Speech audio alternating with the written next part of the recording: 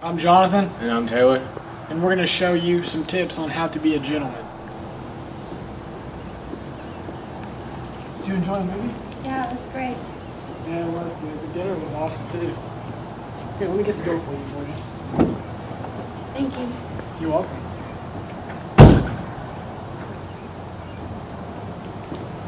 Let me get you home. You always manage to ruin something. I didn't even do anything.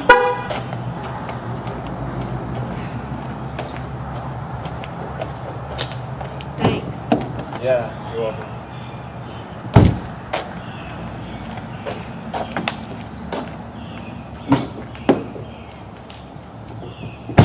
All right, guys. Now that we've shown you that, or told you that you need to open the door for your lady at all times, you also always need to have a umbrella handy or have you know some kind of jacket or be able to take the shirt off your back and put it over your lady to make sure that she stays dry.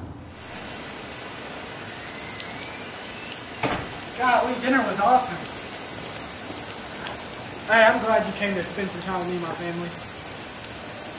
It's pouring. Oh my gosh, I'm gonna get wet. Man, it is. I wonder if it'll stop anytime soon. You know what? I'm just gonna run to the car. I'm gonna run get an umbrella. You you wait right here, okay?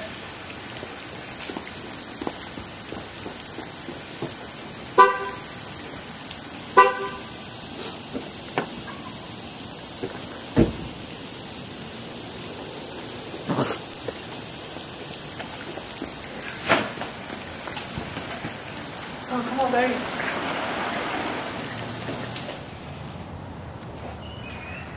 Oh my god, it's freezing. Yeah, it's pretty cold. I didn't dress for this. Would you like my jacket? No, it's fine. No, here, take it on. It's this. You should. I have short sleeves on and everything, but I think you should uh, wear this. All right, guys. Now that me and Taylor have shown y'all a few ways on how to be a gentleman, me and him are just gonna have a conversation about how to be a gentleman because there's many, many things us guys can learn about how to be a gentleman. You know, we mess up at times, we slip up, and we're not gentlemen. But there's always times to get better, and there's always tips that we can get from others or just learn from others.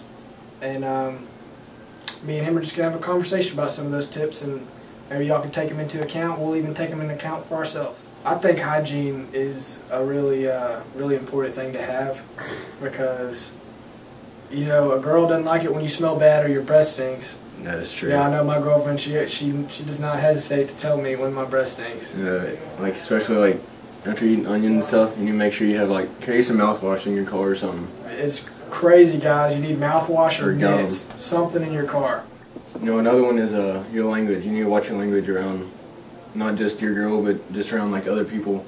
Sometimes like when you like whenever I get mad, I might slip up and like say a few things I don't that I don't mean. You know.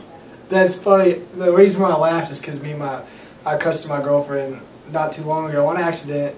They just made me laugh because of the situation we were in. I, I won't bring up the situation, but I accidentally cussed in front of her, and I still feel guilty about it. And I should never cuss my girlfriend. I shouldn't cuss it. You shouldn't cuss at your parents. You're not just your girlfriend, your friends. You know, it's not cool to cuss around your friends. When you're around your guy friends, it's not. You know, you can cuss. You know, you can cuss around your guy friends. Say whatever you want, but just watch it whenever you're around. You know, family or girlfriend's parents, friends' parents. You know, people you just met. Just you know, you need to be Yeah, cautious just about watch what your you watch say. your language.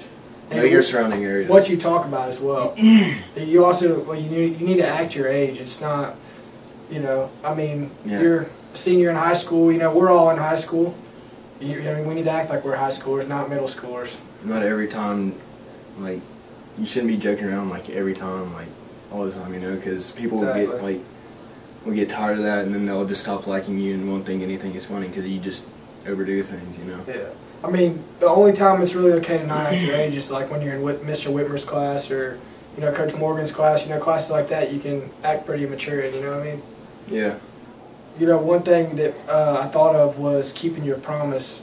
Girls always want you to keep your promise, but like I said, it, not everything has to do with girls. It's your, you know, your best friends. You need to keep your promise to them. You need to keep your promise to your parents. You tell your parents you're going to make good grades one quarter, or one quarter of school, one semester of school. You need to make good grades. You need to keep your promise.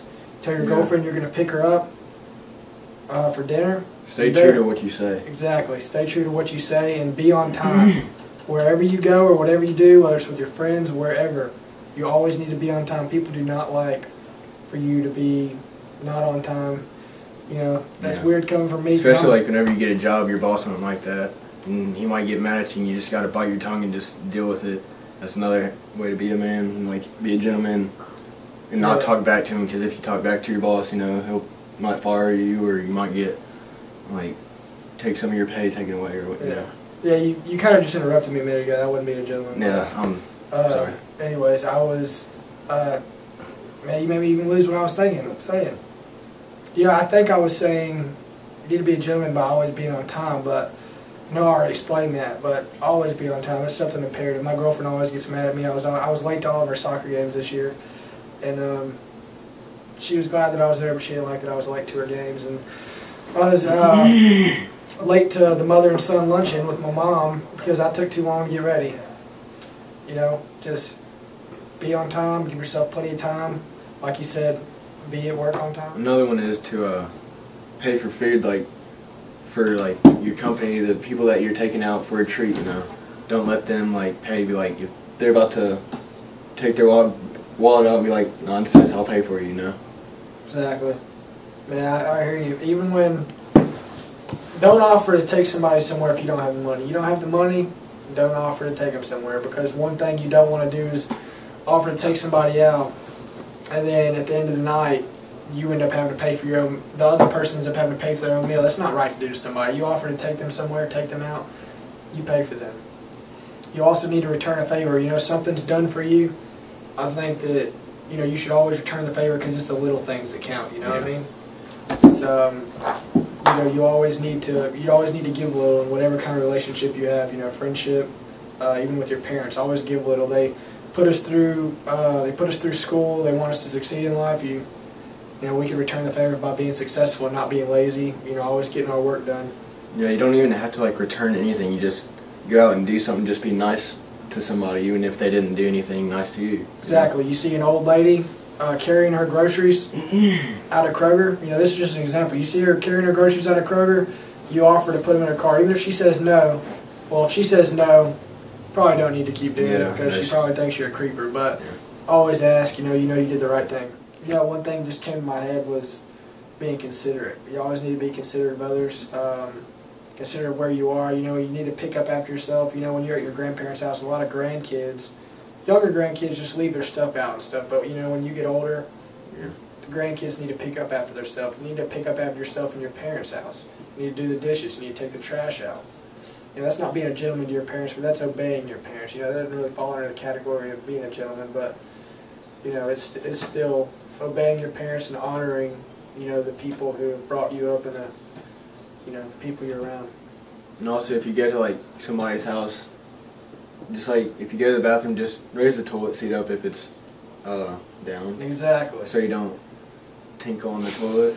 You know, that's not that's not cool because people don't like it whenever they see like dried up tinkle on the toilet. You know. Exactly, man. Hey, man, my girlfriend the other day, I'm telling you, I did that and she got pretty mad. It was hilarious. Yeah. If, But, uh, if you do, if wasn't you, very hilarious to her though. yeah, obviously. This one is imperative. You do not need to fart in public or burp real loud because you might do it around your friends. You might be cool Yeah. doing that. Especially in class, you know, we're at an all-guy school. You do it anytime you want at an all-guy school. That's the one of the perks of not going to a co-ed school. You do it whenever you want. And don't scratch your butt or out in public or adjust yourself. You know, because people might think you're just weird. It's hard not to adjust yourself, but you just gotta refrain from it, especially when around deal with woman. The last thing I can think about is just being you. I know there's a ton of other things that could fall under being a gentleman, but I think you just need to be you. Don't ever try to be anybody else, or don't try to lie to people and tell them that you're something you're not. You just need to, you know, stay true to yourself. You know, that's I, in my opinion, that's part of being a gentleman. You know what I mean? Yeah. Once again, I'm Jonathan. And I'm Taylor. And these are just many ways you can be a gentleman. By the way, guys, this was our uh, this was our last How to Be a Man segment. Me and Taylor here about to graduate here in a couple of weeks, and we won't be with y'all anymore. We hope that next year's How to Be a Man crew can learn from some stuff that we've done, and maybe maybe produce some better videos, you know. But nah, I don't think that'll happen. I love being a gentleman, don't you? I do too.